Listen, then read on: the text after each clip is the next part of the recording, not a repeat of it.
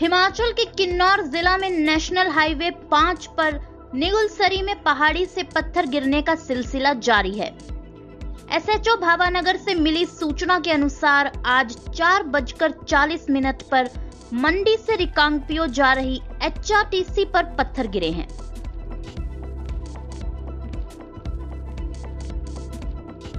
पत्थरों की चपेट में आने से दो लोग घायल हुए हैं।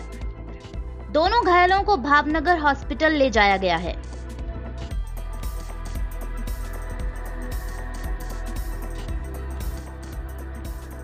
बता दें कि किन्नौर ज़िले में निगुलसरी में हाल ही में लैंडस्लाइड हुआ है। इसमें अब तक 16 लोगों की मौत हो चुकी है और 13 लोग अभी भी लापता हैं, जिनकी तलाश की जा रही है।